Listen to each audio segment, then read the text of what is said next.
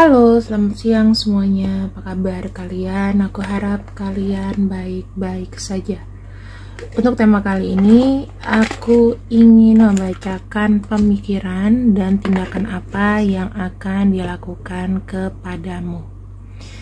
Kalian santai-santai aja, teman-teman. Sekarang aku akan membuka energi dari orang yang memang sangat dekat energinya denganmu jadi ya kamu gak usah nebak-nebak siapa nanti kita akan buka inisialnya juga ya.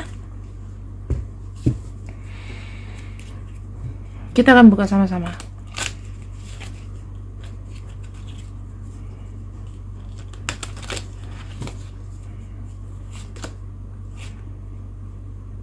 Energi kalian adalah mirroring each other kalian di sini ada untuk satu sama lain. Saya nggak tahu koneksinya apakah koneksi kebersamaan atau memang eh, curi-curi waktu ya. Kalau kebersamaan itu dalam arti sudah resmi pacaran atau pacaran rahasia atau hanya TTM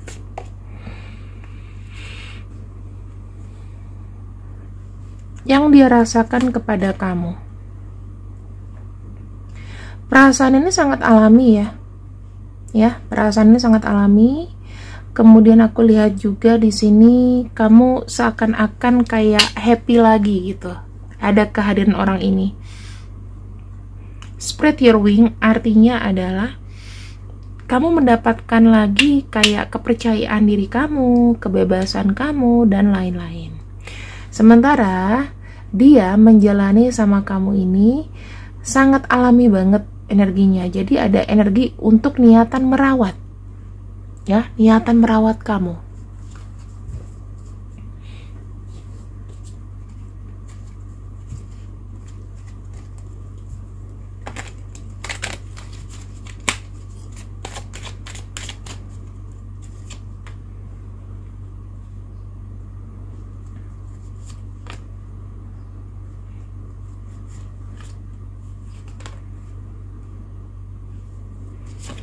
Kamu di sini aku ngelihatnya kamu menginginkan adanya sebuah masa depan dengan dia karena kamu rasakan pasti ke depannya jika bersama akan sangat indah. Sebetulnya kamu sudah berusaha untuk menghindari atau uh, semacam kayak mencoba untuk tidak bersama dia, tidak mau ketergantungan, tetapi sulit sekali untuk dilakukan. Di sini, ya, dia sangat mencintai kamu. Bahkan cintanya untukmu itu sangat um, apa menakutkan, ya. Karena berlebihan cintanya sama kamu. Dan di sini saya melihat kalau dia dalam eh, waktu-waktu uh, ini cuek ya, karena dia lagi fokus ke pekerjaan. Kenapa? Karena dia kayak merasa ketika mencintai kamu ada tanggung jawab atau ada beban ke depannya yang harus dipenuhi. Bisa juga kondisinya dia itu sekarang lagi sulit ya teman-teman sehingga dia merasa nggak enak gitu.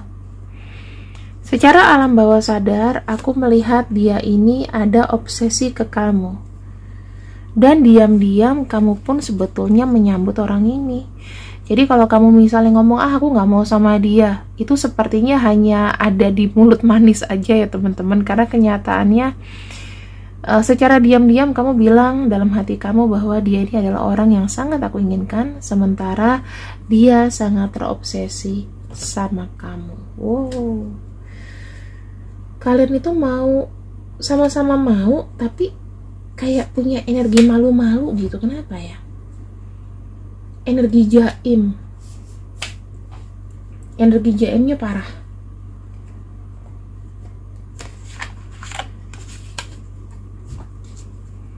Aku akan buka pelan-pelan. Apa yang ia pikirkan sebenarnya tentang kamu? Ada kartu seven of sword awalnya mungkin dia nggak serius ya awal-awal ketemu itu nggak ada yang serius dari dia ke kamu. Hanya kayak pengen kenalan iseng pengen tahu. Ada yang kayak coba-coba dulu. Tetapi ya ketika kalian bersama ada sesuatu yang tiba-tiba tumbuh. Dia sadari bahwa dia nggak bisa main-main sama kamu. Hmm.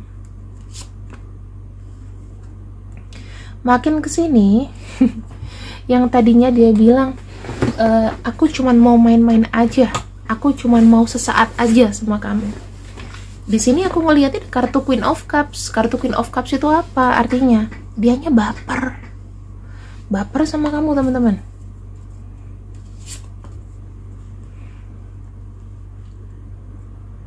Semakin dia mencoba untuk kayak menghindari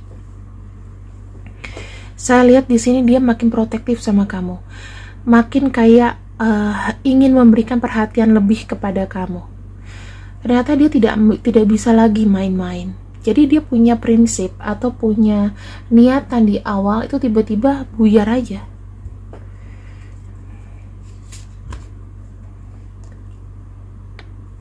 ada kartu Queen of Wands. Artinya apa? Queen, Queen, Queen. Dia ingin membantu kamu. Dia ingin memberikan perhatian lebih sama kamu. Queen of Cups, dia kepikiran kamu. Kita akan buat dan lihat turunannya ya. Ketika dia lihat uh, pengen main-main aja nih, gitu kan? Aku nggak serius kartu Six of Swords itu uh, ketika dia melihat kamu dia cuma pengen kayak udah jalanin aja jadi nggak jadi tetapi itu terbantahkan dikarenakan dia melihat kamu begitu bersinar kamu begitu perhatian juga ke dia dan kamu punya energi membuat dia bahagia yang dia rasakan Queen of Cups tiba-tiba timbul rasa sayang yang mungkin dia tidak ungkapkan kepada kamu ada kegalauan di sini. Dia kayak berpikir, aduh sekarang kok aku kepikiran dia ya, kenapa? Kartu demon juga menunjukkan bahwa dia sebetulnya malu diri. Malu dirinya tuh kayak apa ya? Um, aku bisa bilang malu dirinya tadinya dia nggak serius sama kamu tadinya dia hanya mau main-main tapi dia kayak kemakan omongannya sendiri gitu itu yang aku lihat Kartu Knight of Wands di sini menunjukkan apa? dia di sini ingin merawat kamu, ya. Dia pengen jadi orang yang ada buat kamu. Walaupun hitungannya dia kayak masih baru. Dia belum banyak pengalaman untuk mengenal kamu, tetapi dia pengen mempelajari sifat kamu. Aku lihat ada kartu The World dia ingin melindungimu sepanjang dia bersama kamu. Jadi jiwa kepemilikan, jiwa um, jiwa untuk bersama kamu.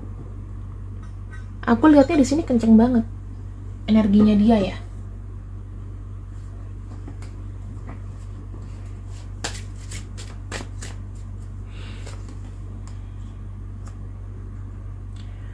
secara manipulasinya dia dia punya berpikir eh, kadang-kadang kamu bermain-main gak sih dengan dia please jangan main-main sama aku dong. Padahal awalnya dia yang pengen coba-coba doang sama kamu. Tetapi yang aku lihat di sini berbalik.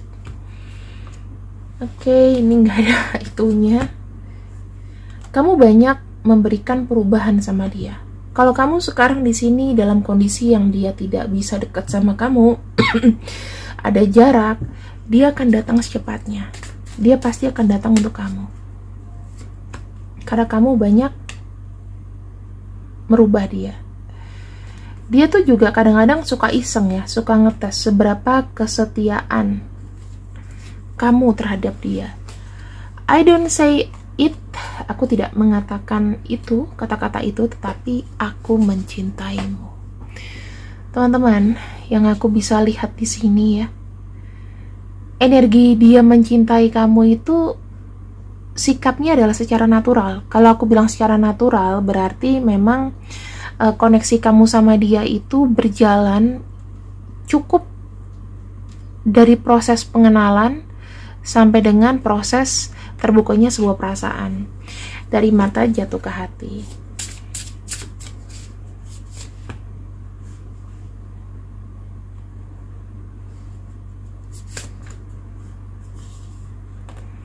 Ada kegelisahan dari dia.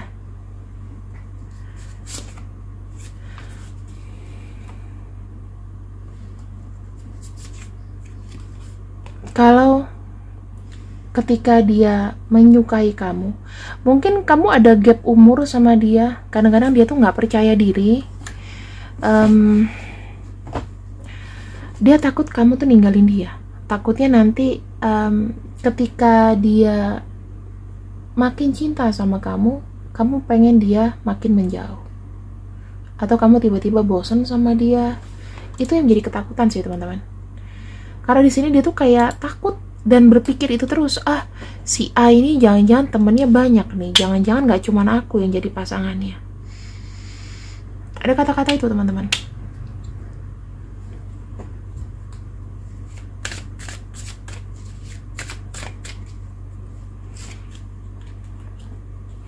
Hal ini dikarenakan apa? Dia punya rasa posesif banget sama kamu. Gak mau kehilangan kamu. Pikiran dia kepada kamu adalah um, dia sangat menjaga bahwa dia gak boleh seenaknya. Dia harus tahu uh, bagaimana mengkoneksikan hubungannya dengan kamu. Karena dia bilang, sekali aku kehilangan kamu maka perasaannya akan hancur. Bagaimana dia ke depannya? Kita akan lihat ya, kita akan bahas pelan-pelan. Ke depannya proyeksinya bagaimana rencana dia sama kamu. Di sini teman-teman, aku melihat akan ada sebuah hubungan yang lebih romantis lagi, ya. Energinya kayaknya tuh saling mengisi satu sama lain. Uh, dia akan banyak terbuka ngobrol sama kamu dia akan uh, mencurahkan apa yang ada di hatinya berharap kamu bisa jadi pendengar yang baik ya. Berharap kamu bisa memberikan nasihat atau mendengarkan dia. At least entah kamu pendengar entah kamu memberikan nasihat. Dia pengen baik ke depannya sama kamu. Pengen maju bersama dengan kamu. Jadi kan kalian kalau misalnya bersama tiba-tiba ada ide pengen kerja bareng pengen ada di dekat kamu. Pokoknya ketika ada dekat kamu, dia tahu ke mana dia bertanggung jawab, ke mana dia harus uh, bekerja itu untuk apa. Ada tujuannya yaitu kamu. Ada kamu yang ingin dia perhatikan. Gitu. Seven of Pentacles dia pengen punya rencana yang matang sama kamu entah itu dari sekarang kita bersama ketemu kita harus enakin dulu ekonomi kita supaya apa? Aku bisa menikahimu. Kita bisa bersama kita bisa um, apa namanya liburan bersama traveling bersama kita bisa staycation kita bisa berdua. Yang aku lihat di sini adalah rencana besar. Dia pengen kayak ngajak kamu ke mana gitu. Six of Pentacles dia mau kamu ada untuk membantu dia, menguatkan dia, menyeimbangkan semuanya. Dia tahu bahwa kamu itu adalah uh, apa ya? Orang yang punya energi baik sehingga rezeki itu kayak cepet datang. Oh, ada kartu King of Swords. Dia ke depannya akan berstrategi dan akan memikirkan cara bagaimana supaya kalian itu bisa bersama terus. Jadi dia tuh pengen kayak gini loh teman-teman. Uh, kalau kamu wanita dan dia pria, dia ingin bertanggung jawab atas apa pun yang terjadi sama kamu. Biar dia yang mikir buat kamu biar dia yang membalas kebaikan kamu. Biarkan dia menyeimbangi kamu. Dia yang memberi uh, pikiran. Dia yang mikirin segala sesuatu yang tentang kamu. Ini yang aku lihat di sini. Bagus banget kan? Makanya sebetulnya sih kalau kalian di sini bisa bersinergi energinya ya itu bagus banget ya teman-teman. Dia butuh diperhatikan sama kamu. Saya ngeliat di sini kakinya sudah terkunci, matanya hanya tertuju sama kamu, perasaannya hanya untuk kamu. Dia nggak mau ke yang lain. Night of Swords ingin membuktikan bahwa dia mampu. Dengan apa adanya dia, dia mampu untuk menghidupi kamu. Dia di sini akan berusaha untuk menghapus rasa sakit dalam hati kamu. Jika kamu pernah tidak bahagia, jika kamu pernah uh, dalam arti menerima kesedihan, dia yang akan hapus luka itu. Four of Cups menunjukkan bahwa di sini dia um, tidak peduli apa kata orang lain. Dia tidak mau diganggu. Dia tidak jelalatan. Dia mau bilang sama kamu bahwa ada mungkin orang yang mengganggu atau mencoba masuk di hubungan ini, tapi dia sendiri tidak bergeming. Dia hanya memikirkan kamu. Ibaratnya orang lain itu cuman apa ya? Cuman uh, dianggap sama dia orang iseng yang berusaha untuk merusak hubungan kalian. Siapakah dia? Jika dia seorang laki-laki, Tuh aku nggak tahu ya, tapi kalau dia laki-laki, energi kalian ini lagi LDRan atau sedang tidak ketemu. Dia termasuk orang yang manja dalam tindakan kadang-kadang orang ini susah untuk diandalkan. Dan yang aku lihat di sini kartu The Harvest dan ada kartu Profitable.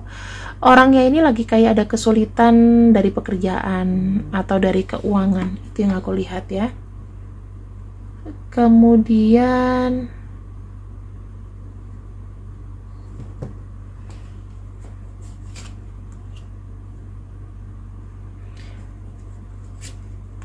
Hmm.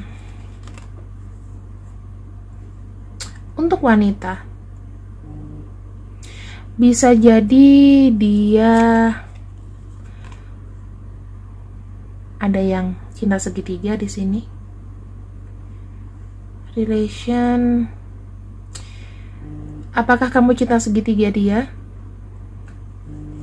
Karena hubungan dia baik-baik aja. Um,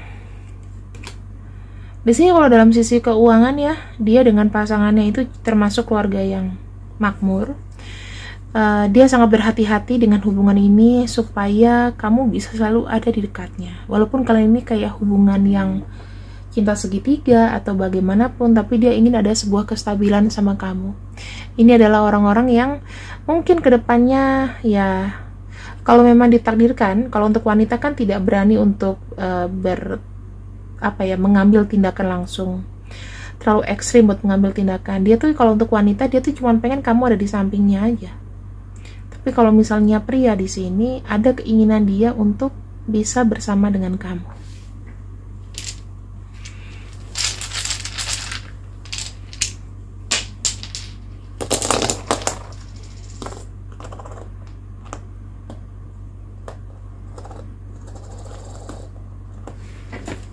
Kira-kira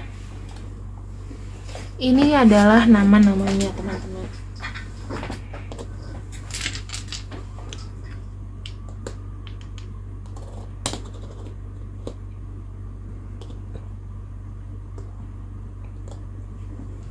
Jika memang di sini ada inisial atau sesuatu yang memang ter apa ya, ter koneksi dengan energi kamu, maka inilah bacaan untuk kamu. Jika memang namanya nggak ada, nggak usah pusing. Ketika kamu membaca readingan videoku, maka energinya akan bisa resonate.